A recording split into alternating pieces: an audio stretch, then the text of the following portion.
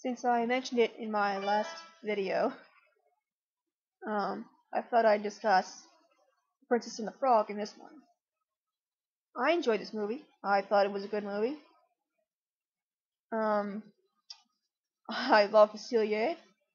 I love Tiana. I love Naveen. I love Charlotte. I love everybody. How could you not? I mean, these were fun characters. This was a fun movie. The colors were fantastic. But it had problems. It had a lot on its plate because this was the first black princess. So there were a lot of expectations. There were a lot of changes that had to be made from start to finish. It wasn't going to be perfect, we all knew that, but at the same time, we didn't expect these kinds of problems. Start with some of the songs aren't that great. I mean, I still have them on my iPod. I still like to listen to them, but they don't measure up to the songs of the past with their power and their messages. Personally, I think a fantastic Disney song is made when it can be taken out of context of the movie and just sung at almost anywhere. Hakuna Matata, Part of Your World. These songs, you could sing them almost at any function and they would almost work. Because they're fun, because they have different meanings, they have different levels. But when you have songs like When I'm Human, they just kind of fall flat. Uh, the whole slapstick thing with the hunters on the boat just seems so out of place. I mean, I know it's supposed to serve as Tiana and Naveen learning how to use their frog abilities, but it was just it just seems so last minute and so unnecessary. Another problem I thought. I mean, I love Charlotte. I think she's hilarious. I think she's adorable. I think that what's the thing is when you ask a lot of people who their favorite character was from this movie, a lot of times you'll hear her name. And that's a problem when your white character outshines your black character and the movie's point is supposed to highlight the black character. It's not their fault. I don't think they meant to do this. But Char Charlotte becomes so lovable and so much more interesting a character that she kind of overshadows Tiana. And speaking of Tiana, as I said in my last video, she spends most of the movie as a frog. Granted, it's for plot purposes. But if you're going to build up that this is going to be a progressive progressive film, that this is going to be your first black princess, and then you kind of ignore that for so much of the movie.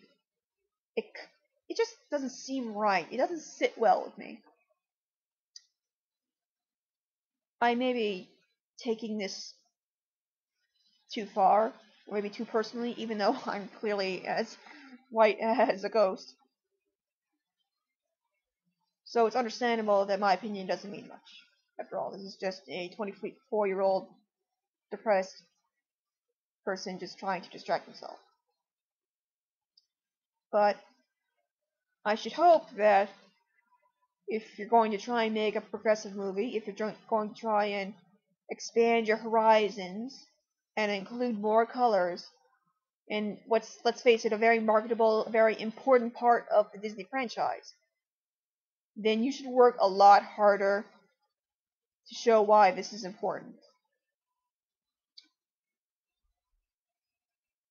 And it's upsetting that since then we've gone back to white European princesses with Tangled and the upcoming Frozen. The thing is, just because you have one princess of one color doesn't mean you're done. Doesn't mean that's enough. That's not fair. Why should little girls only have one person they can relate to? Why should there be a quota? There are fascinating stories from all around the world, of all colors, of all creeds, but they've been actively choosing not to go with them. I hope that'll change. I hope they can learn from the mistakes of Princess and the Frog because, despite my complaints, I seriously enjoyed this movie. Um, I loved Louis. I thought Ray really broke my heart when when he died. I thought, yeah, right, like they'd really do it. And I kept staring at the screen, thinking, all right, when's it gonna happen? When's the big magic thing that's gonna bring him back to life going to happen? And it didn't. And I was stunned that Disney would go that far. And I loved it. That they made this a serious issue and they stuck with it. And I was it made me so sad and happy at the same time. I wound up crying, which I I don't do the movies that much anymore.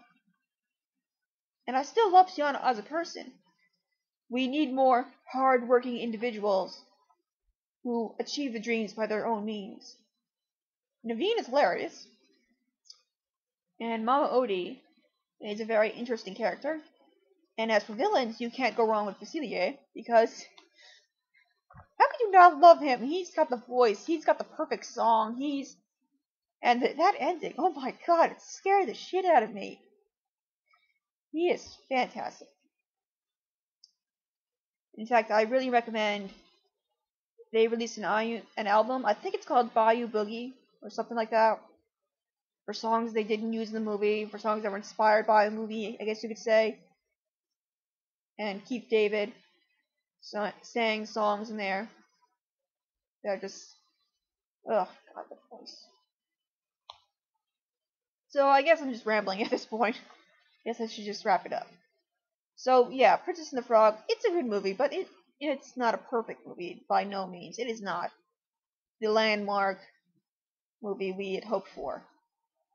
It is a learning point, definitely.